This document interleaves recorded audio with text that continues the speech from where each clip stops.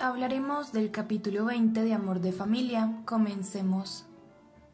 Este capítulo comienza con Baris. Son horas de la noche y vemos a Baris llegando a la casa que compró para Phyllis. En ese momento aparece un patrullero, se estaciona a su lado y es Semil. Semil saluda a Baris. Baris lo saluda y le pregunta qué pasó, por qué se queda viéndolo, ¿algún problema? Semil le dice que no, solo quería felicitarte. Me enteré que compraste una casa. Este barrio es muy pequeño y las noticias corren rápido. Baris dice que sí, así parece. Semil le dice, bienvenido a nuestro barrio. Baris le agradece y cuando está a punto de irse a casa, Semil le pregunta, ¿Phyllis duerme en esa casa? Baris dice, sí, claro, ella está durmiendo ahí, yo solo vengo a visitarla, pero ¿por qué tengo que decirte esto a ti? ¿Tienes algún problema con que se está quedando en mi casa? Semil le dice, no, claro que no, solo preguntaba. Baris se va y Semil le dice nuevamente, espera. Baris lo mira y Semil baja del auto, abre el maletero y dice, olvidé mostrarte lo más importante. Baris mira el maletero y ve su gorra y sus guantes. Semil ríe y le dice, sé que esto es tuyo, pero no lo aceptarás. Baris solo lo mira y Semil le dice, no luces muy feliz con esta noticia, pero vine aquí a ofrecerte un trato. Vete de este barrio y no te encerraré. Baris dice, ¿y tienes pruebas de algo? Semil le dice, podría acusarte de cualquier delito simple, llevarte a la estación y hacerte una prueba de ADN. Baris solo lo mira y Semil le dice, te doy hasta mañana para que te vayas de aquí. Phyllis no se enterará de nada. Buenas noches. Semil se va y Baris dice, maldito fastidioso. Baris se acerca a casa y sale feliz. Él entrega una bolsa y le dice, dentro hay galletas y algunas cosas de comer. También hay té. Phyllis lo recibe y Baris le dice, tengo que irme. Phyllis le dice, espérame, estoy aburrida, quiero ir contigo. Baris solo la mira y ambos van camino a su lugar favorito frente al mar. Ambos toman asiento y se quedan callados. Phyllis le pregunta, ¿estás bien? Baris le dice, claro que sí. ¿Por qué? Phyllis le dice, no me mientas, lo veo en tu rostro. ¿Qué pasa? ¿Confía en mí? Baris toma las manos de Phyllis y no sabe si decirle la verdad o no. Phyllis le dice, confía en mí, por favor. ¿Es algo del trabajo? Baris sigue callado y Phyllis le dice, Tú siempre me apoyas, déjame apoyarte. Baris la mira y le dice, ¿sabes? No es nada, yo puedo encargarme, me estoy estresando por nada. Phyllis le dice, ¿es por dinero? No te preocupes, yo tampoco tengo. Tú gastaste mucho en comprar esa casa y esos muebles, solo ya no hay que seguir gastando. Baris le dice, Está bien, amor. Si llego a necesitar ayuda en algo, siempre te lo comunicaré. Él la abraza y ambos regresan a casa. Al día siguiente vemos a Sukran sentada a la mesa desayunando junto a Rahmet, Hikmet, Kiraz, Fico e Ismet. Fico le dice, Madre, necesito dinero para una excursión. Sukran le dice, Tráeme mi bolso. Kiraz le dice a su madre, Necesito que firmes mi tarea.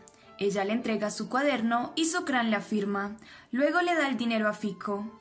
Hikmet le pregunta a su madre, ¿les preparaste los almuerzos? Sukran les dice que no, no tuvo tiempo. Kiraz le dice, mi hermana siempre los tenía listos, ella los preparaba una noche anterior. Sukran la mira enojada. Ellos siguen desayunando. Eismet riega un poco de pan por la mesa. Ella está empezando a perder la paciencia y grita, Ten cuidado, Ismet. Todos la miran y Kiraz le dice, Madre, no tienes que gritarle. Él es un niño pequeño. Mi hermana nunca nos gritaba. Sukran solo respira y Fico le pregunta Madre, ¿prepararás los almuerzos? Sukran dice Es su intento. No tengo cinco manos. Sukran empieza a meter varias cosas dentro de un pan.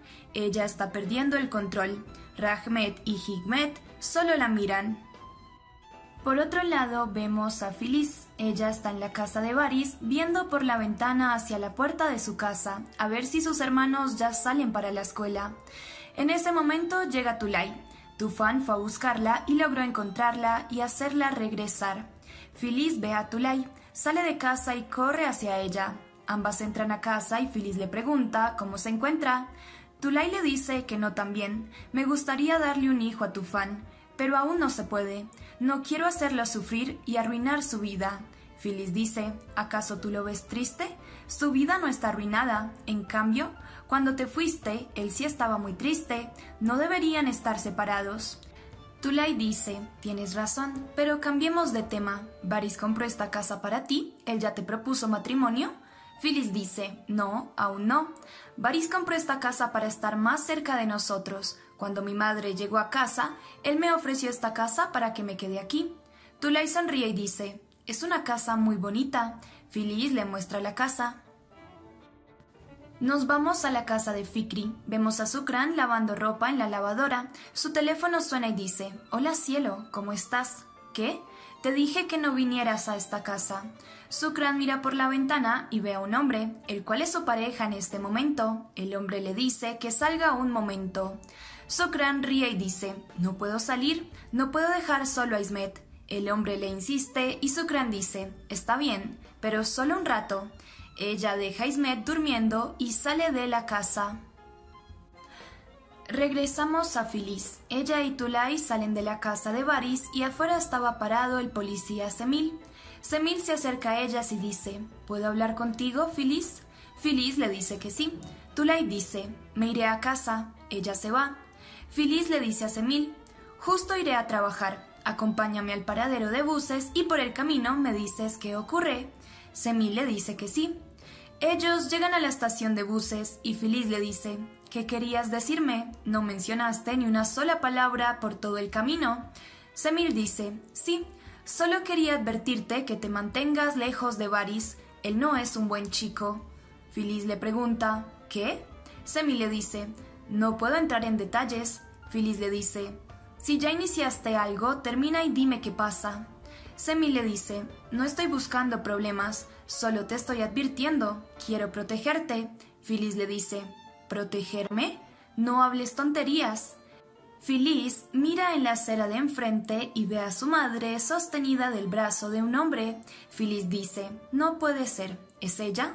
Phyllis se queda pensando y dice, Ismet, Ismet está solo en casa. Phyllis se va corriendo a casa. Luego de un rato, Sukran regresa a casa y ve dentro a Feliz e Ismet. Feliz la mira y le dice, ¿por qué regresaste? Pensé que ya te habías ido. Sukran dice, ¿pasó algo? Feliz dice, ¿cómo pudiste ser tan cruel para dejar al niño solo aquí? Sukran dice, pero solo fui a la tienda. Feliz le dice, ahora veo que eres una mujer mentirosa. Feliz carga a Ismet y Sukran le pregunta, ¿a dónde lo llevarás? Feliz le dice, a donde sea que esté lejos de ti. Sukran le dice, no olvides que su madre soy yo. Phyllis le dice, cállate. Ella se lleva a Ismet. Sukran solo la mira enojada. Phyllis está en casa de Baris con Ismet. En ese momento llega Baris, entra y carga a Ismet. Él pregunta, ¿por qué está Ismet aquí? Phyllis le dice, se lo quite a mi madre. La inconsciente lo dejó solo en casa. Yo estaba en la calle hablando con Semil y vi a mi madre con un hombre. Baris dice, ¿y qué fue lo que hablaste con ese sujeto? Phyllis dice, no te preocupes, ese no es el punto. Luego de ver a mi madre con ese sujeto en la calle, regresé rápidamente a casa y vi a Ismet solo. Baris dice, bueno, pero en cuanto a Semil, ¿qué te dijo? Phyllis le pregunta, ¿por qué? Baris le dice, él no me agrada. Phyllis solo lo mira. El capítulo acaba con Phyllis. Ya es de noche y la vemos aún con Ismet y Varis. En ese momento tocan a su puerta. Ella abre y es Rahmet. Phyllis se desespera y dice, ¿qué pasó? ¿Mis hermanos están bien? Rahmet le dice, ella quiere que vengas a la casa a cenar. Estuvo cocinando todo el día y quiere tener una cena familiar. Dice que tiene una cena familiar. Tiene algo que decirnos. Phyllis dice, ¿una cena familiar? Rahmet dice, dejémosla que hable y tal vez se irá. Phyllis lo piensa y Baris le dice, adelante, ve. Phyllis, Rahmet e Ismet entran a casa y toman asiento a la mesa. Fikri también llega y finalmente Hikmet, quien estaba trabajando. Todos empiezan a cenar. La comida de Sukran no es muy rica. Rahmet la escupe disimuladamente. Phyllis le dice, bueno, ¿cuál es la noticia que quieres darme? Sukran dice, está bien, contraeré nupcias. Todos se quedan viéndola sorprendidos. Sukran dice, lo conocí en Adana y nos mudaremos a Estambul. Él trabaja conduciendo camiones y es muy amable. Sé que cuando lo conozcan lo van a amar. Comenzaré una nueva vida, por eso quiero llevarme a Ismet conmigo. Phyllis dice, pero aún sigues casada con mi padre. Fikri se pone nervioso, se frota la cabeza y grita, ya basta. Todos lo miran y él llora y dice, ¿cómo puedes hacerme esto?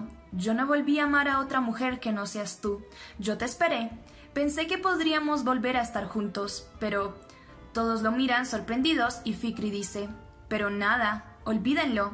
Él se pone de pie, saca de su bolsillo su anillo de bodas con su crán, se lo tira sobre su plato y le dice, dáselo a ese hombre. Fikri se va y Hikmet mira a su madre y le dice, esta cena familiar me fascinó. Repitámosla. Phyllis ríe un poco y dice, sigan comiendo. Espero les haya gustado este resumen. No olviden suscribirse y activar la campanita de notificaciones para que no se pierdan ninguno de nuestros próximos videos. Gracias.